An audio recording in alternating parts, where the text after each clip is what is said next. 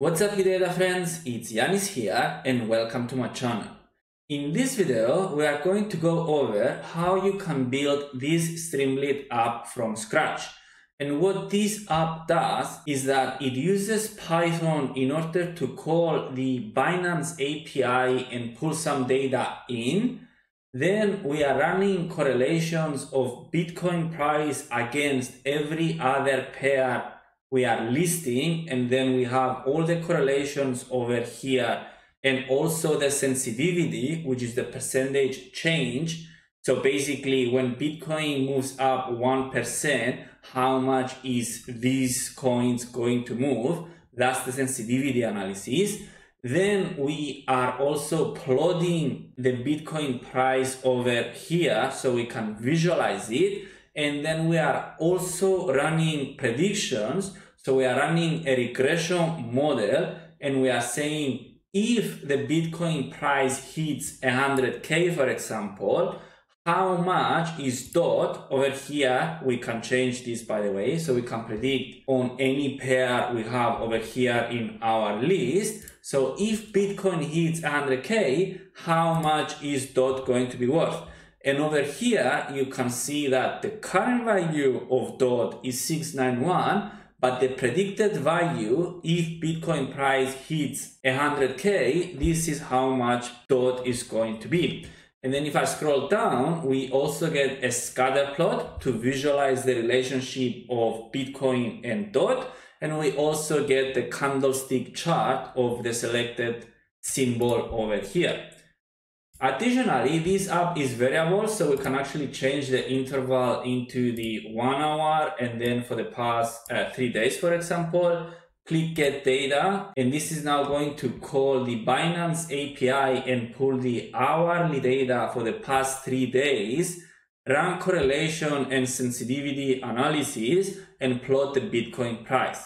Then we can go on and call our regression model to make predictions again you can see it's still running because we are running correlations on 50 different pairs, I think. There we go, we have the correlations on the hourly data.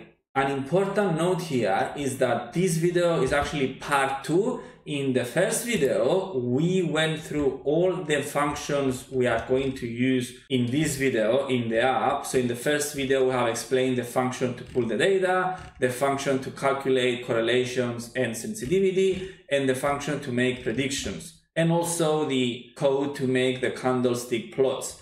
In this video, we are going to go over how you can put everything together and create the Streamlit app. So if you haven't watched the first video, I suggest watching that first to understand the functions and then come over here to watch the second video. And before we start this, let me just say that if you're passionate about data analytics and data science, then please consider liking this video, subscribing to my channel, and enable notifications for my future videos. Right, starting with the first thing we need is our libraries. So make sure you have all these libraries installed on your environment. If you're missing any of these libraries, so for example, the Binance.client one, then please run pip install and then uh, python dash binance as we have explained in the previous video. Right, the next thing we have is that we need to specify our API key and API secret. So you should go in your Binance account, click on profile, API management, and from there you, you can create a new API and that API is going to give you your key and the secret. So copy it, paste it over here, and then run this command, client equals client, pass the API key and the secret in order to initialize your Binance client. Then we need to specify a list with all the pairs we are going to use because we cannot possibly use all the pairs. We need a number of pairs. For this bit, I created this function over here, the top 50 symbols. So this function goes into Binance, pulls all the triggers and their volume, and then it limits the top 50 triggers, which is symbols, is the same thing and it returns a list with all of those. And as you can see down here, I get the list, I copy this, and then I paste it over here. So it's actually hard pasted, it's not variable, so it's not changing. Next, we're going to have our function to pull the data. So we have explained this function in the previous video. And then we are going to have our function to calculate correlations and sensitivity. Again, we have explained this function in the previous video, so I'm not going to explain it again.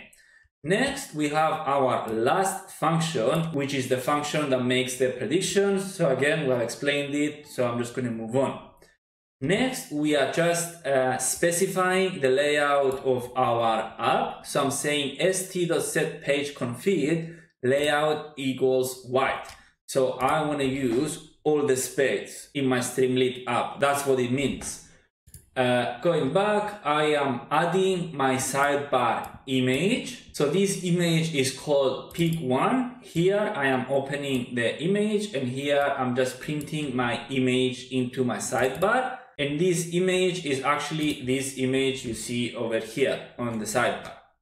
Next, if I go back, I am adding a sidebar header and then in the sidebar, which is here, I need to add all my inputs. So I start with a selection box. So the intervals and the list of the selections is these options over here. So if I click, you can see only those options. Next, I am adding a slider and this slider has a minimum value of 1 to 30 and is actually the look back period in terms of days. And then this code over here, it takes the input from the sidebar and is converting it into a value so we can actually use it in our calculations. Next, I am adding a button and the button is the get data, which is uh, this button over here. So after we make our selections, we click get data and this is going to run our functions. Next, I am adding another section in my sidebar, which is the prediction inputs. So this section over here. First, I add uh, a sidebar selection box, which is basically selecting the target symbol. So the symbol we are going to make predictions on and then I'm adding another number input over here and this is the value that we are going to add for Bitcoin. So if Bitcoin hits 80k, how much is DOT going to be, for example? Click predict, and this is going to call our model to make predictions. Next, we are saying if get underscore data button is clicked, so this button over here, then I want to run my first function. So we have explained this in the first video.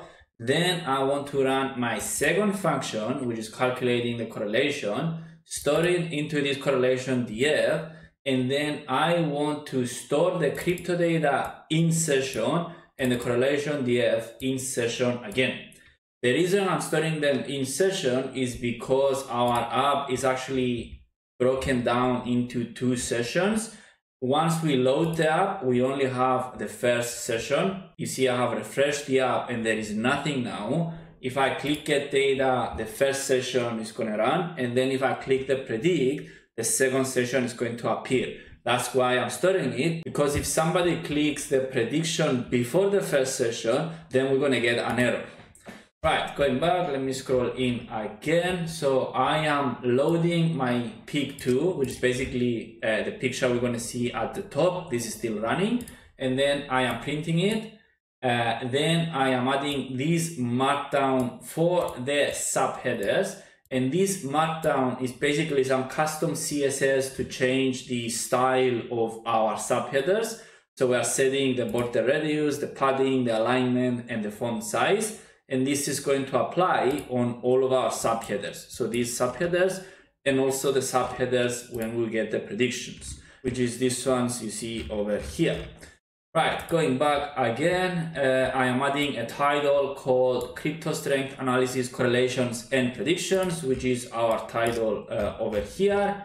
Uh, next, I'm saying if crypto data in session. So if somebody has actually clicked the first button and we have data, I want to calculate the latest Bitcoin price and then the target variable's latest price. So this target symbol is actually the symbol you see over here, in our case, Ethereum. And the reason I'm doing it is so I can print them as you can see over here. Right, going back, let me uh, scroll in again. Next, I am saying the predicted price is none because once we load the app, we don't actually have a prediction. First, we'll have to select, then we'll have to make prediction. So if somebody clicks the prediction button, then we are going to run our prediction function we have defined above, and we are going to store it in predicted price. Then we are going to split our page into three columns. And the reason we do this is so we can actually print our cards. So the first card is going to be our Bitcoin latest price and it's going to use this CSS code as styling. Then our second card is going to be the target latest price for the target symbol. So if I, you see over here, we get the target symbol title and then we also get the price. That's why we have the title and the price over here. And then for the predicted price card, if the predicted price is not known, so if somebody clicked on the predict, I want to print the predicted price.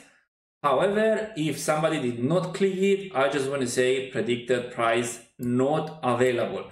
So if we refresh our page, we are going to see not available because no one has clicked the prediction yet. Right, moving on, what I'm doing here is that I'm saying if crypto data is in session, so if somebody already clicked the get data, which is this one over here, then I want to split my page into two columns. On the left hand side, we are going to have our correlation coefficients and sensitivity data frame which is this data frame over here. And then on column two, I want to have our candlestick chart. So this chart you see over here. And all of this code we have explained in the previous video, which is basically a copy paste from yeah this code over here.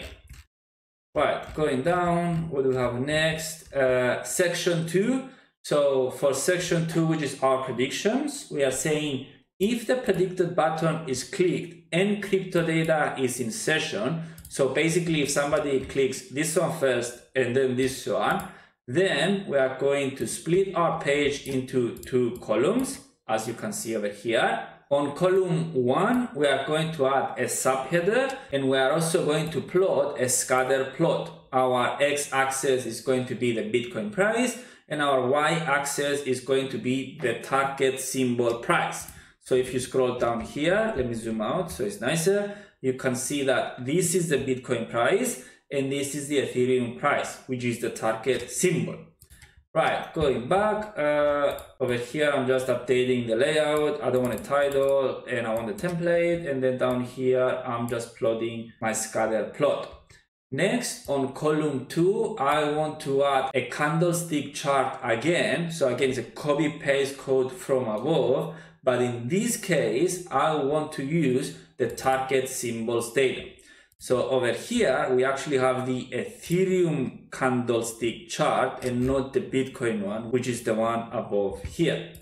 Right, going back, and the last thing we have to do is to actually run our app. So we have everything in one cell and now we are ready to deploy our app. To do this, we're going to have to create a new file, a .py file, and then open it from Visual Studio Code and then run it from there. So the steps are that you have to click on File, New, and then Python file. Then I'm going to go back. I'm going to copy all of our code from here and I'm going to paste it into that file. So copy, paste, change the title into Binance uh, Correlations V2, uh, rename to file, save all. Then I'm going to copy this file and put it in the location I have all of my pictures so I can actually run everything from the source file. Uh, so I'm going to go over here. In my case is under C, users, uh, PT, and then it should be somewhere here. There we go. Binance correlation V2. I'm going to cut this and I'm going to paste it into Binance uh, correlations, which is over here where I have everything else. And now I'm going to open this file using Visual Studio Code like this. Next, I'm going to copy and paste my key and my secret and cut it out of this video. There we go. I have pasted everything in. And the last thing we have to do now is that we need to run Streamlit run and then the name of our file. Let me get the name of our file is Binance underscore CC2. There we go. So I'm going to copy this and I need to run this in a new command prompt. So uh, make sure everything works by running the file first. So if you don't have an error here, it means that everything works fine. And then I'm going to create a new command prompt. I'm going to paste that streamlit run binance cc version 2.py, click enter, and this is going to open a new tab in your browser with your new streamlit app. There we go. I'm going to zoom out a bit. I am going to start by getting the hourly data for the past, I don't know, five days. Click get data and this is going to pull the data from Binance now, run correlations, run sensitivity, and then plot the candlestick chart of Bitcoin on the right hand side. There we go, we have all of our data, it looks fine. Next, we are going to try and predict something. So let's select uh, XRP for example. When the Bitcoin price hits, I don't know, 120K for example, uh, click predict and let's see the value of XRP. There we go. We can see that when Bitcoin is on 120, we predict that XRP is going to be 2.82 based on our regression model over here. However, again, don't take any decisions based on this model. As you can see, it's not a straight line, so it's not that accurate. It's just an estimate based on the data we have. I suggest using this analysis in combination with other analyses that we're going to use in this channel before you take any decisions and make any investments or take any trades. Right, so this is it for this video. If you have any questions or any ideas, please let me know in the comments below. If you have enjoyed watching this video and you've gained enough value, please click the like button, subscribe to my channel and enable notifications for my future videos.